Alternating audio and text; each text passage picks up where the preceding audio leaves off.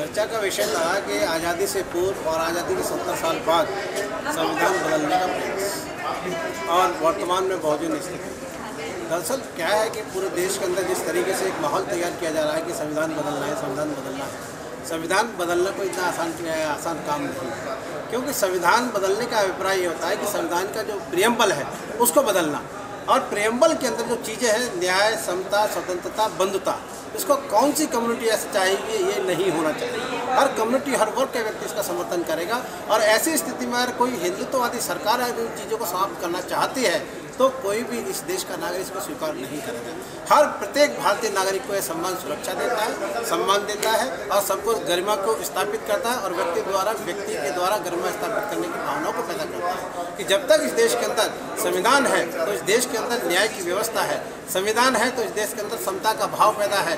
संविधान है तो इस देश के अंदर स्वतंत्रता का अधिकार है लोगों के पास और संविधान है तो भ्रातत्व भाव है यहाँ पर। लेकिन कुछ जो ब्राह्मणवादी और पूंजीवादी शक्तियाँ इस देश के अंदर क्या चाहती हैं कि वर्चस्ववादी समाज के हिस्से की जब चीज़ें निकल कर जाती है, उसका हाथ से रोटी छिलती है तो वह चिल्लाता है, चीखता है। और एक वर्ग जो बहुसंख्यक जो सदियों से अपेक्षित है, वो अपने हक और हकूक की आवाज़ संविधान के माध्यम से उठाता है तो लोगों के अंदर एक वेदना पैदा होती है। लेकिन आने वाले समय के अंदर यहाँ पर बहुजन समाज पूरा जागरूक हो चुका है। पिचासी प्रतिशत लोग जागरूक हो चुके हैं। अब पहचानना सिर्फ़ ये है कि हम संविधान की सुरक्षा के तहत, संविधान के तहत हम अपनी बातों को रखें और पढ़ लिखने के बाद हम अपने अधिकारों की मांग करें सारी।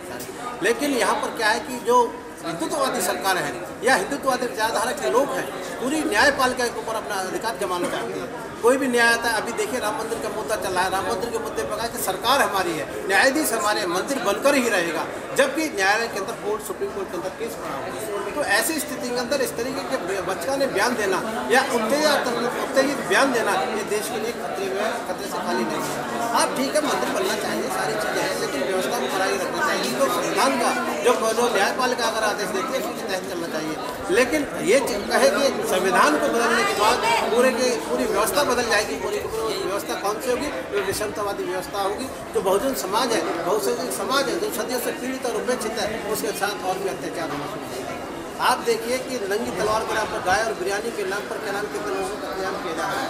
और जो लोग हक और हकूक की बात कर रहे हैं, उन लोगों को मारा जा रहा है। चाहे गुरु लंकेश हो दामोलकर हो, और या अन्य जो लोग हैं, उनको हत्या की जा रही सारे। ऐसा थोड़ी देश की सरकार डरने लगी है। लोग जागरूक है शब्दों से। आज देखा कि यूनिवर्सिटियों से कैंपसों से देश का प्रधानमंत्री बोलता है कि बारूदी सलाइट के अगर ऊपर दमन किया जा रहा है। ऐसा कभी नहीं होगा। सब दुनिया जाग चुकी है। लोग जाग चुके हैं। और समाज जाग चुका है।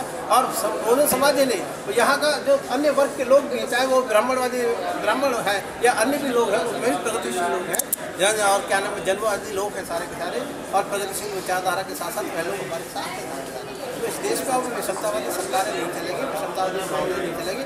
सबको हक देना पड़ेगा, सबको बराबरी का अधिकार देना पड़ेगा, और संविधान बदलना है कोई आसान काम है सरकार चाहेगी सरकार बदल देगी हाँ ये है कि जो सरकार, एक पक्षीय सांप्रदायिक दृष्टिकोण लेकर बात करते तो आने वाले चुनाव के अंदर ऐसी सरकार को बदलने का काम हम लोगों को, नागरिकों को करना चाहिए और जो बुद्धिजीवी लोग समाज के अंदर चलता है और पूरे देश के अंदर एक समतावादी व्यवस्था पैदा हो जिसमें सबको जीने का हक हो, सबको खाने पीने का हक हो, सबको रोटी, रोज़गार का हक हो, इन्हीं के साथ हमारे पास